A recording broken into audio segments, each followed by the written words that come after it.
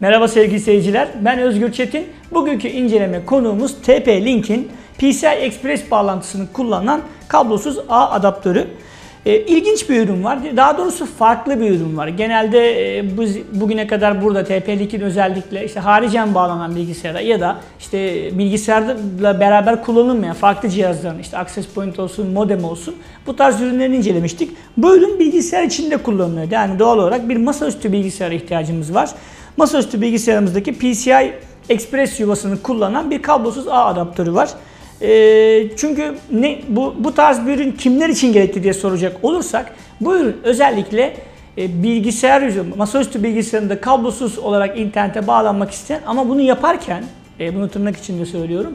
Yüksek hızlara ihtiyaç duyan kullanıcılara hitap ediyor. Yani birazcık profesyonel seviyeye yakın bir ürün var karşımızda.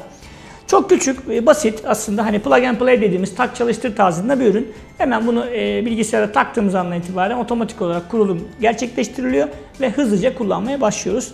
İki parçadan oluşuyor. Daha doğrusu 3 adet anten ve cihazın kendisinden oluşuyor. Antenler için arka yüzünde 3 adet yuva bulunuyor. Bu 3 adet anteni de buraya takıyoruz. E, bu sayede hem e, çekim alanımızı, çekim gücümüzü üst seviyeye taşımış oluyoruz. Hem de e, biraz sonra detaylarını anlatacağım. Dual band konusunda cihaz bize daha faydalı ve performanslı bir şekilde yardımcı oluyor. Antenler bu şekilde takılabiliyor ve döndürülebiliyor antenler. Hemen mesela ben şöyle göstereyim.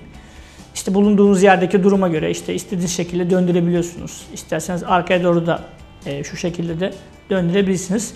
E, bu antenler e, 2 dBi gücünde. E, bu sayede özellikle kablosuz ağın etki mesafesinden veya gücünden muzdarip olan kullanıcı açısından da nispeten bir çözüm üreteceğini söylememiz mümkün. Ürün 450 Mbps desteğine sahip. Zaten hemen cihazın üzerinde de 450 Mbps dual band e, ibaresi de yazıyor.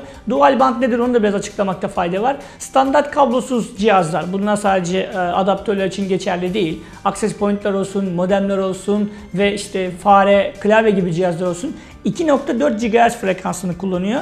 Ee, bir e, bulunduğumuz yerde bu ev olabilir, ofis olabilir. Çok fazla 2.4 GHz frekansı kullanan cihaz olunca bir frekanslı tıkanma meydana gelebiliyor. Şimdi yeni çıkan cihazlarda ise 5 GHz frekansı kullanılmaya başlandı. Bu frekans nispeten daha boş olduğu için e, dolayısıyla data aktarımında ve diğer konularda bir sıkıntı olmuyor ve diğer ürünlerin frekansların da bu e, bu frekansı etkilemesinin de önüne geçilmiş oluyor.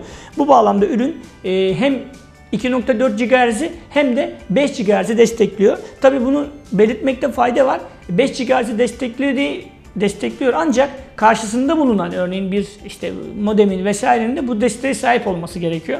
Bu önemli bir konu. Bundan da e, bahsetmekte fayda var. 802.11 ABGN formatlarındaki bütün kablosuz ağlarla beraber kullanılabiliyor. Az önce söylediğim gibi 3 adet anten var. Her bir antenin gücü 2 dBi ve 450 Mbps desteğine de sahip bir e, cihaz var karşımızda.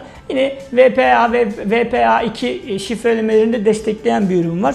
Özellikle de hani masaüstü bilgisayarda profesyonel seviyede bir e, kablosuz ağ cihazı arayanlar için önerebileceğimiz bir ürün.